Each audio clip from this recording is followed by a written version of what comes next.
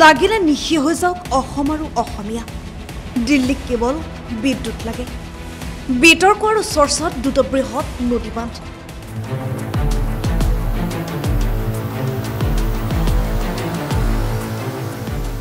বৃহৎ নদী বান্ধ অসম আৰু অসমীয়াৰ প্ৰতি মাৰাত্মক ভাবুকি।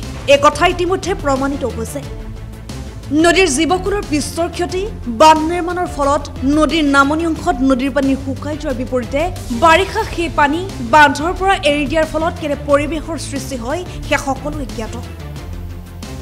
জলবিদ্যুৎ প্ৰকল্পৰ নিৰ্মীয়মান অৱস্থাতে বাৰে বাৰে পাহাৰ খহি সৃষ্টি কৰা বিপৰ্যয়ৰ লগতে শেহতীয়াকৈ সোৱণশিৰি নদীৰ জলপ্ৰবাহ বন্ধ হোৱাৰ ঘটনাক লৈ চলিত বৰ্ষটোত সৃষ্টি কৰা বিভীষিকাৰ জৰিয়তে স্পষ্ট হৈ পৰাৰ সময়তে অসমলৈ অশনি বাৰ্তাৰে অৰুণাচল প্ৰদেশৰ দুটা বৃহৎ জলবিদ্যুৎ প্ৰকল্পৰ বিতং প্ৰকল্প প্ৰতিবেদনত কেন্দ্ৰীয় শক্তি মন্ত্ৰালয়ে অনুমোদন জনাইছে।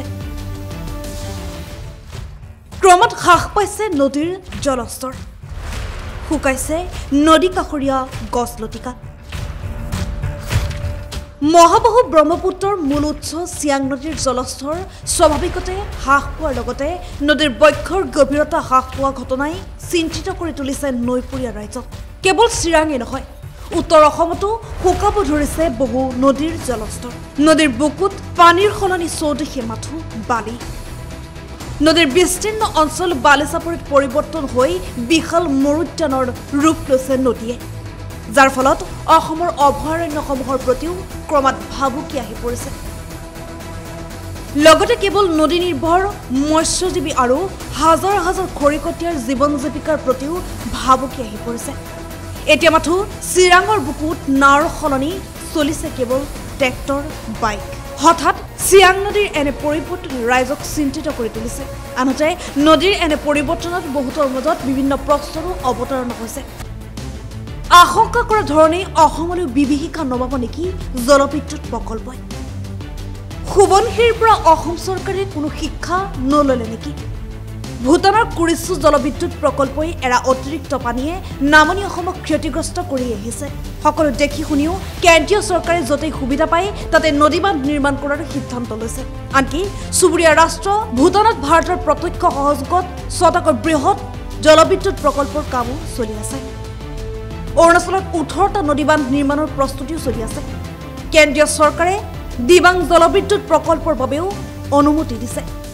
কেৱল অৰুণাচলতে ওঠৰটা নদী বান্ধৰ জৰিয়তে সোতৰ হাজাৰ নশ বাসত্তৰ মেগাৱাট বিদ্যুৎ উৎপাদনৰ লক্ষ্য লৈছে কেন্দ্ৰীয় চৰকাৰে।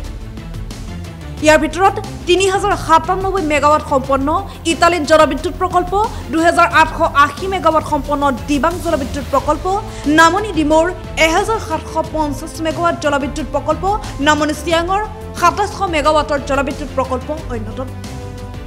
ইয়াৰে সৰ্ববৃহৎ ইটালীন আৰু আটনলি প্ৰকল্পৰ বাবে এজেভিয়ানৰ বিতং প্ৰকল্পৰ প্ৰতিবেদনত কেন্দ্ৰীয় বিদ্যুৎ কৰ্তৃপক্ষই সন্মতি জনোৱাৰ কথা কোম্পানীটোৱে শনিবাৰে ৰাজহুৱা কৰিছে।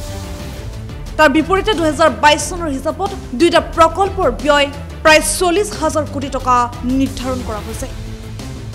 আনহাতে অৰুণাচলত স্থাপন কৰিবলৈ খোজা এই দুয়োটা বৃহৎ জলবিদ্যুৎ প্ৰকল্পই নামনি সোৱণশিৰি প্ৰকল্পৰ দৰে অৰুণাচলৰ সমানেই যে অসমৰ বৃহৎ ক্ষতি কৰিব সেয়া এক প্ৰকাৰে স্পষ্ট হৈ পৰিছে। কিয়নো এই দুয়োটা প্ৰকল্প নিৰ্মাণ কৰিব লগা নৈ দুখন ব্ৰহ্মপুত্ৰৰ অন্যতম ঘাই উপনৈ দিবাঙৰ উপনৈ। অৰ্থাৎ প্ৰকল্প দুটাৰ ফলত দিবাং নৈত জলপ্ৰবাহ বাধাগ্ৰস্ত হ'ব আৰু ইয়াৰ বিৰূপ প্ৰভাৱ উজনি ব্ৰহ্মপুত্ৰৰ নিশ্চিতভাৱে পৰিব। আনহাতে এই প্ৰকল্পবোৰ ৰূপায়ণ হ'লে অৰুণাচল চৰকাৰে বাৰ শতাংশ বিনামূলীয়া বিজুলীও লাভ কৰিব। অৰ্থাৎ চৌবিছশ কোটি টকাৰ লাভ হ'ব অৰুণাচল চৰকাৰৰ প্ৰতি বছৰে প্ৰকল্পৰ স্থানীয় এলেকা অনুসন্ধানৰ বাবে দুশ কোটি দিয়াৰ প্ৰতিশ্ৰুতিও আছে।